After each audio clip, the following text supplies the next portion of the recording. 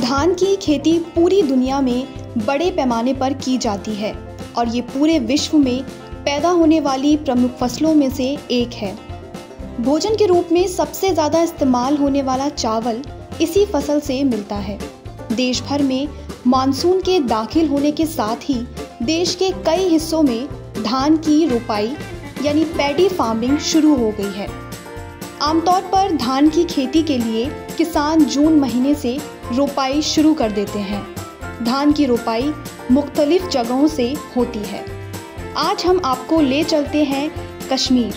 आइए जानते हैं मोहम्मद शफी से कि कश्मीर में पैडी फ़ार्मिंग कैसे की जाती है। धान का प्रोसेस है जहाँ खासकर कश्मीर में जो चल रहा है जो मैंने भी देखा है अपने जो हमारे पुरुष थे उनसे मैंने देखा है सर।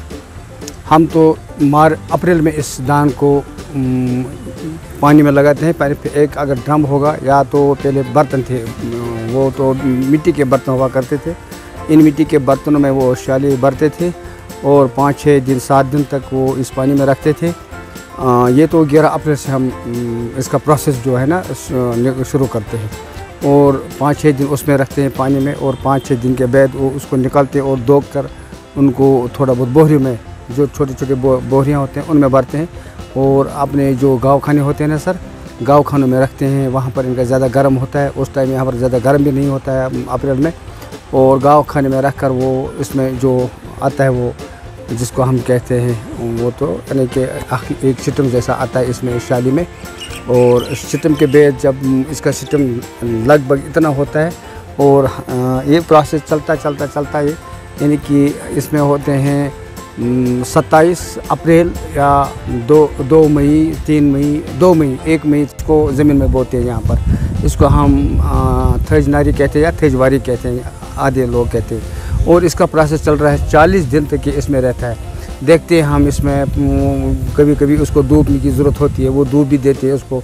और आखिरकार ये सत्ताईस, अट्ठाईस में एक या दो जून तक तैयार होते हैं और चालीस दिन वहाँ पर रहकर हम इसको फिर यहाँ पर जिस तरह आज आप देख रहे हैं यहाँ पर, आज हमें लगा रहे इसलिए ये, इसलिए लेट हुआ इस साल, क्योंकि इस साल यहाँ का मौसम ठीक नहीं रहा और ठीक इसकी वजह से वो पनीरी जो ये ज़्यादा उतनी लंबी नहीं होगी जितना इसमें यहाँ पर ज़रूरत पड़ती है। इसलिए इसलिए यहाँ पर एक देर हुआ इस साल। और आखिर पर इसका ये अब चलेगा, अब जून, जुलाई और अगस्त में इसका वो निकलेगा। अब इसमें शाली आएँगे इन और सितंबर में इसको हम काटेंगे चौबीस या पच्चीस सितंबर सब लोग यहाँ आते हैं काट काट कर। अपनी खुशबू और स्वाद के लिए कश्मीर का चावल मशहूर है। कश्मीर में इन दिनों मौसम धान की फ़सल के लिए अच्छा है। इस बीच महिला पुरुष दोनों ही धान की पौध रोपने के लिए खेतों में काम कर रहे हैं। पिछले साल में हमें नहीं हुआ, हो रहा था और ये जो हमारे मोदी जी की सरकार आई है यहाँ पर, नौ साल बेमिसाल है, वो वाकई नौ साल बेमिसाल है। इसमें जो बीज आ गए हैं, अच्छे अच्छे बीज दिए जा रहे हैं, मक्की का बीज दिया, धान का बीज दिया, जो भी बीज, जिस बीज की हमें ज़रूरत पड़ती है, देता, दिया जाता है। और इसके अलावा जो खाद वाद था, इससे पहले कापरेटिव सोसाइटी यहाँ पर काम करते थे। अब तो वो डिफंग हो गए कापरेटिव का नामी निशाना कहीं नहीं रहा है, सर। और ये जो खाद वाद वगैरह है आ, उस टाइम भी वो खाद वाद वगैरह वो लेते मगर अब जो इस जो सिस्टम निकला है कि ज़मींदार जो है उसको खाद मिलनी चाहिए और सब्सिडाइज रेट्स पर खाद मिलनी चाहिए। हमें वो भी मिलती है डाई पोटाश और यूरिया हम इसमें डालते हैं और तो इन आज के हम इस दौर में कहते हैं पिछले नौ सालों की अगर हम बात करेंगे तो अच्छी तरह से अच्छी तरह से जो पूरा डिपार्टमेंट इसका एग्रीकल्चर हो हार्टिकल्चर हो हमें सपोर्ट करते हैं और अच्छे अच्छे बीज ला देते हैं।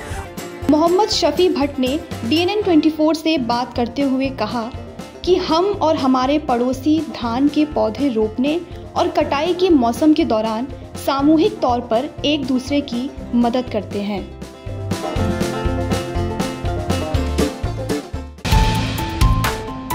जो है आपके आसपास, आपके शहर का खास, वो दिखाएगा आपको डीएनएन 24 आपका अपना डिजिटल न्यूज़ नेटवर्क तो फिर कीजिए लाइक सब्सक्राइब और फॉलो